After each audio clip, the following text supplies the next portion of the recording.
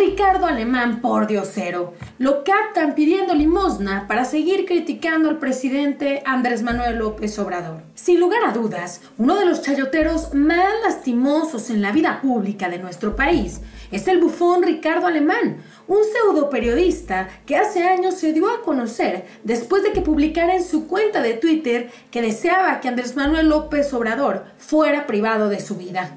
Sin embargo, el tiempo pone a cada quien en su lugar y pocos años después, López Obrador se está convirtiendo en el mejor presidente de la era moderna y Ricardo Alemán no logra salir del Valle de las Desgracias, pues se acaba de dar a conocer que el ex texto servidor se la ha pasado pidiendo limosna como vil por diosero, después de que la cuarta transformación lo dejara sin chayote.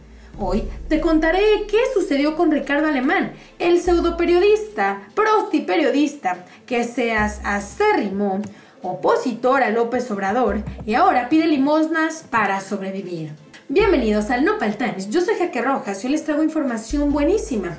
Y es que Ricardo Alemán ha caído tan bajo que ha tenido que pedir limosna ya que se le terminó el chayote.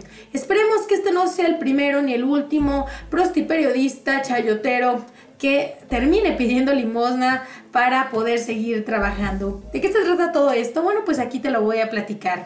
¿Listos? Comenzamos.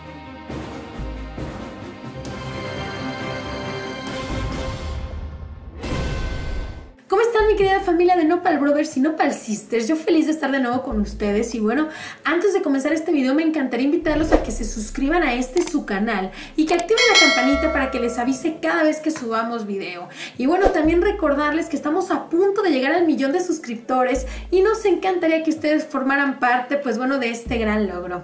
Y ahora sí, arrancamos con la información del día de hoy. Y bueno, este pseudo periodista, este señor se hizo muy famoso por decir al presidente eh, el fallecimiento, por desear que uno de nosotros, de las personas que seguimos a la 4T, fuéramos y le quitáramos la vida al presidente.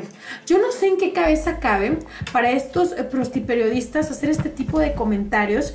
Y bueno, ahora sí que todo cae por su propio peso y hoy es lo que vamos a platicar. Y es que el periodista Ricardo Alemán sugiere en Twitter con quitarle la vida al presidente y desata oleada de críticas y condena generalizada. Esto ya pasó hace un tiempo, amigos. Esto fue en el año 2018 y quiero, bueno, mostrarles lo que él publicó. Aquí lo ven en su pantalla.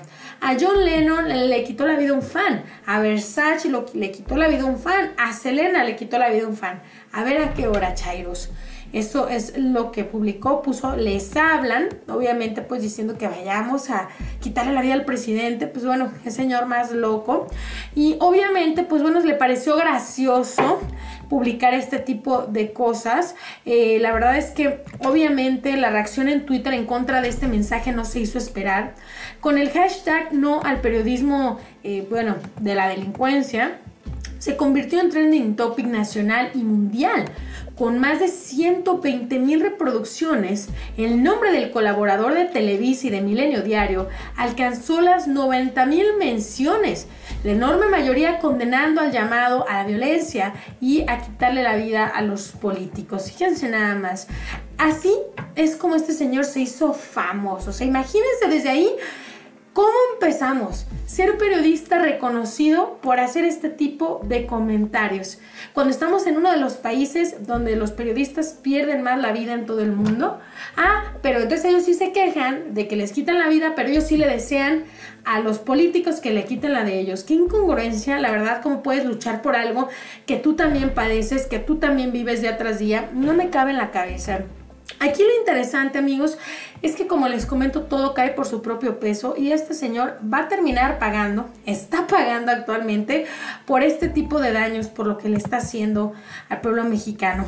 Y es que este señor está ardido, siempre estuvo ardido con Andrés Manuel López Obrador, porque le quitó el chayote. O sea, no solamente a él, sino a todos estos periodistas, que no eran periodistas, sino que eran empleados del PRIAN, que bueno, recibían incluso de 100, 200 millones de pesos.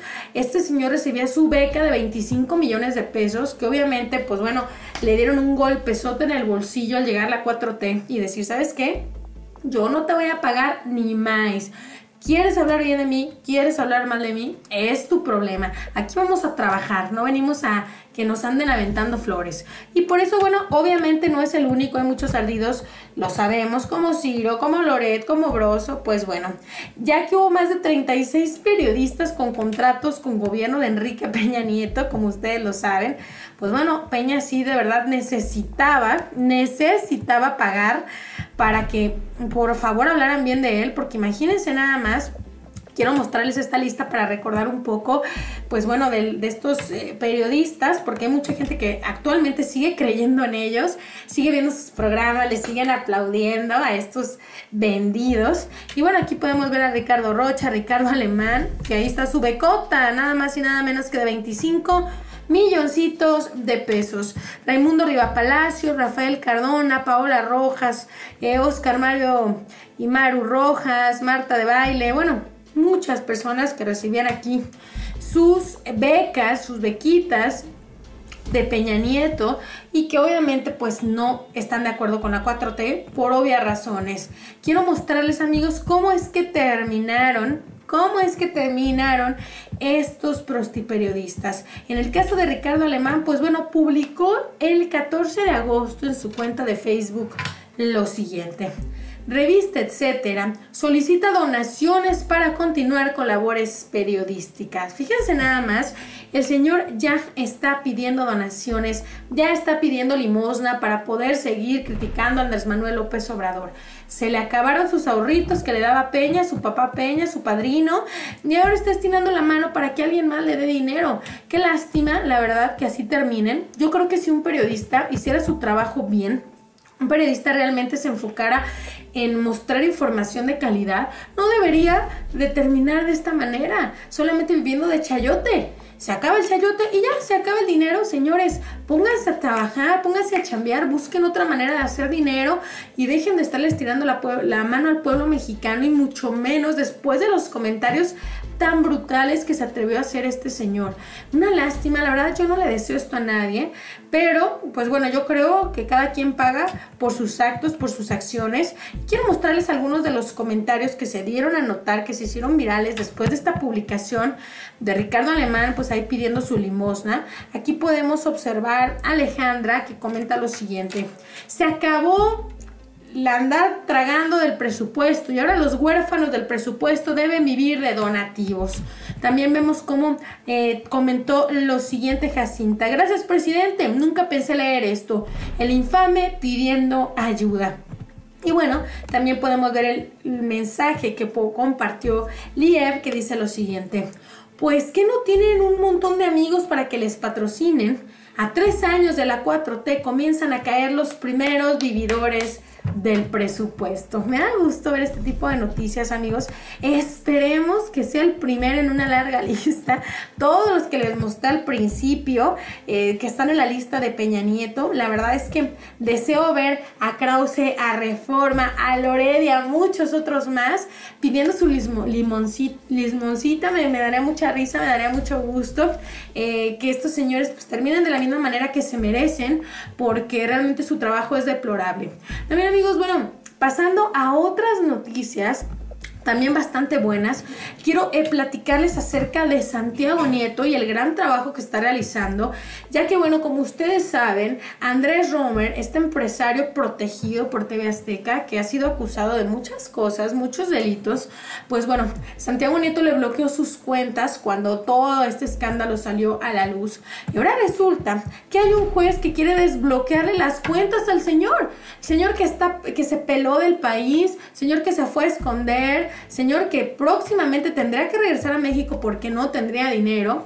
Y bueno, no tardaba en salir un juez corrupto para defenderlo. Les platico que un juez desbloquea las cuentas a la esposa de Andrés Romer y la unidad de inteligencia financiera dice que van a seguir congeladas. A mí me vale lo que hagan estos jueces, cuánto les den de mordida ni más. Aquí se cumplen con las leyes. Y es que a mí me gusta eh, platicarles esto, amigos, porque nos damos cuenta de que necesitamos más Santiago Nietos en esta 4T y para siempre. Si todos los servidores públicos fueran tan eficientes como Santiago Nieto, ya seríamos un país primermundista definitivamente.